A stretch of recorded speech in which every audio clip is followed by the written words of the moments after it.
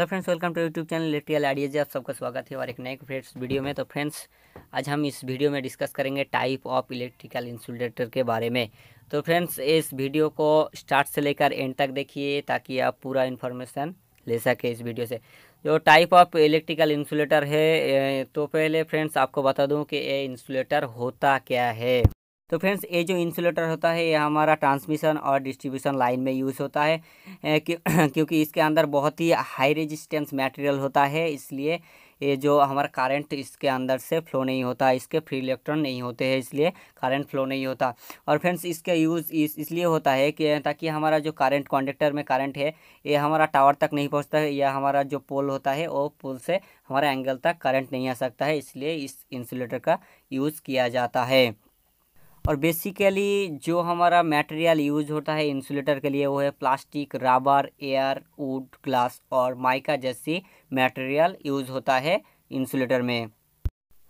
और हमारा transmission line and distribution line insulator material जो यूज़ होता है पोर्सिलेन ग्लास पॉलीमर जैसे मटेरियल इंसुलेटर में यूज़ होता है ट्रांसमिशन और डिस्ट्रीब्यूशन लाइन में।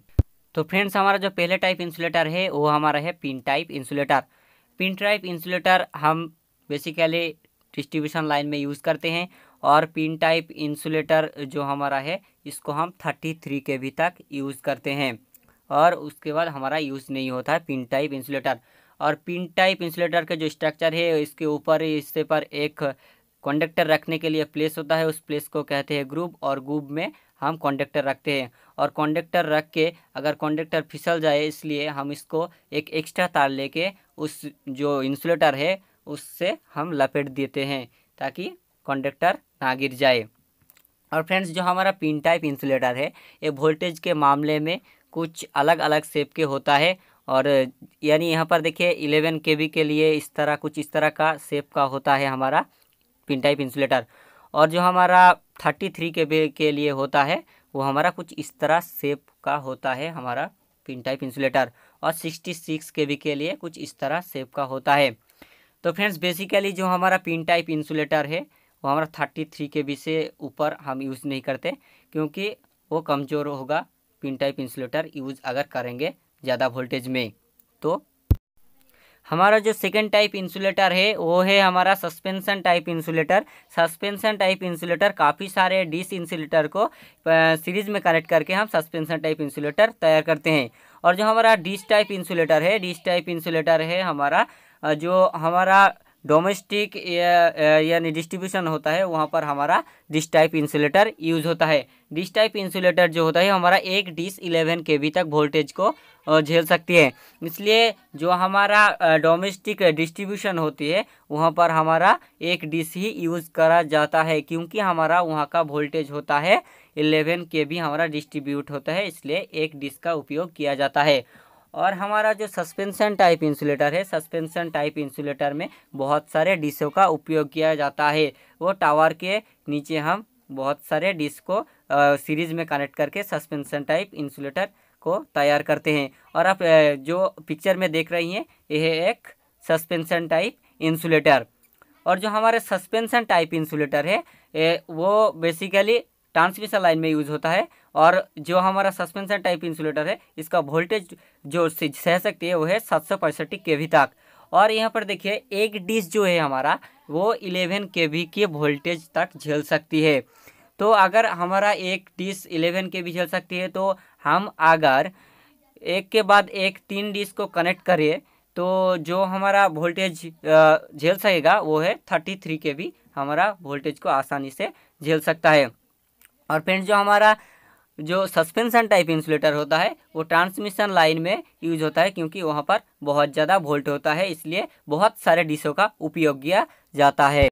और जो हमारा थर्ड टाइप इंसुलेटर है, वो है strength type insulator stand type insulator suspension type insulator की तरह ही है। यहाँ पर भी बहुत सारे डिशों का उपयोग किया जाता है और इस डिश को भार्टिकली प्लेस किया जाता है। स्टैंड टाइप इंसुलेटर जहाँ पर यूज़ होता है कहीं पर अगर अगर नदी आ जाए तो नदी के ऊपर से अगर ट्रांसमिशन लाइन जा रहा है तो स्टैंड टाइप इंसुलेटर यूज़ होता है। और अगर ट्रांसमिशन लाइन को मोड़ लेना हो, तब भी ये हमारा स्टैंड टाइप इंसुलेटर का यूज़ होता है। और अगर हमारा ट्रांसमिशन लाइन को 90 डिग्री तक अगर मोड़ लेना हो, तब भी हमारा ये स्टेन टाइप इंसुलेटर काम आता है। आप पिक्चर में देख रही हैं।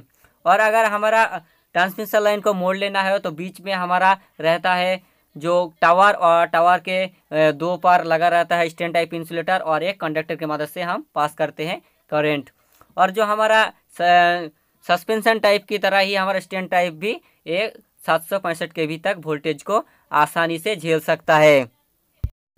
और हमारा फोर्थ टाइप जो इंसुलेटर है, वो है shackle type insulator shackle type insulator हमारा डिस्ट्रीब्यूशन लाइन में यूज़ होता है, जो डोमेस्टिक डिस्ट्रीब्यूशन होता है, वहाँ पर हमारा सिकल टाइप इंसुलेटर यूज़ होता है। सिकल टाइप इंसुलेटर के जो बेसिक स्ट्रक्चर होता है, उसका फॉर्मेट कुछ इस तरह होता है, जो देखने में कुछ इस तरह का शेप का होता है। और जो हमारा सिकल टाइप इंसुलेटर है, वो पोल के साथ एंगल जो होता है आयरन के एंगल उसके साथ और जो उसका एंगल होता है, जिसके साथ वो फिक्स्ड होता है, उसको हम कहते हैं डी क्लैम्प और जो सिकल टाइप इंसुलेटर के, इसके बीच से तार को फंसा करके और एक एक्स्ट्रा तार लेके इसको वाइंडिंग करके दिया जाता है।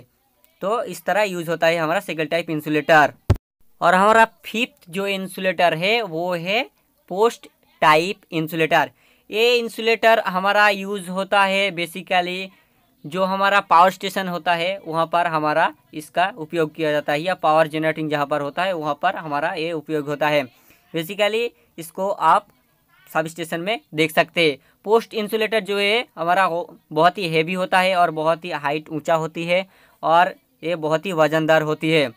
और जो हमारा इंसुलेटर है, इसके हेवी होने का कारण है, ये जो पावर स्टेशन है, वहाँ पर जो बासबार और कॉन्डक्टर है, बहुत ही वेटफुल होता है, इसलिए इसका वेट ज़्यादा और हमारा छः नंबर जो इंसुलेटर है, वो है हमारा stay type insulator stay type insulator हमारा डिस्ट्रीब्यूशन लाइन में यूज़ किया जाता है, जो हमारा पोल है कंक्रीट पोल होता है। उस पोल के जो हमारा सपोर्ट देने के लिए जो हमारा वायर ज़मीन के बीचों बीच गड़ा रहता है, उस वायर के बीचों बीच जो हमारा इंसुलेटर यूज़ किया जाता है, उसको हम स्टे इंसुलेटर कहते हैं। आप इस इमेज को देखिए, इस इमेज में हमारा स्टे टाइप इंसुलेटर है और स्टे टाइप इंसुलेटर तभी काम करते हैं जब एबनॉर्मल सिचुएशन क्रिएट हो जाता है। यानी हमारा जो फ़ेज़ है, अगर कनेक्ट हो जाता है हमारा एंगल के साथ तो जो एबनॉर्मल सिचुएशन क्रिएट होता है तो हमारा करंट जो है फॉल्टी करंट है, उसको ज़मीन में आने नहीं देता। इसलिए हमारा जो स्टे टाइप इंसुलेटर है, उसका उपयोग किया जाता है।